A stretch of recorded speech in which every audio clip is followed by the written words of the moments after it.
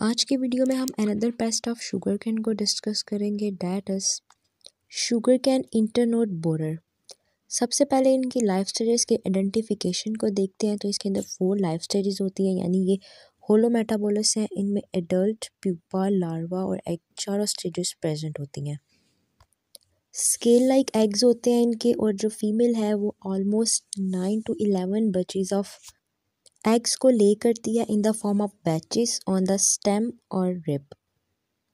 White larva होते हैं with the four longitudinal stripes of the violet colour और जो इनका हेड होता है वो लाइट ब्राउन होता है। प्यूपा की बात करें तो जो प्यूपा होता है ये ऑरेंज रेडिश होता है और प्यूपेशन होती है under the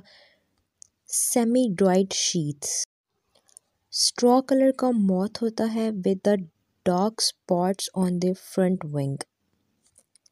In their damage जो कैटरपिलर्स हैं, वो थ्री मंथ्स ऑफ़ प्लांटिंग के बाद इसके ऊपर अटैक करते हैं और जो इंटरनोड्स हैं शुगर कैन के, वो श्रिंक करना स्टार्ट कर देते हैं they become constricted and shrinked with the number of bore holes.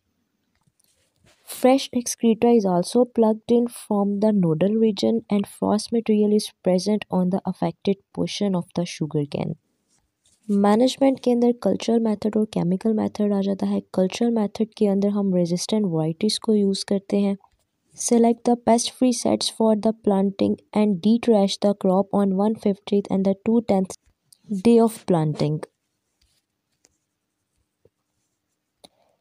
We should avoid the excessive use of the nitrogenous fertilizers. Chemical control के अंदर इंसेक्टिसाइड्स को यूज़ किया जाता है, जैसे कि क्लोर पायरिफॉस है in the quantity of one litre पर एकड़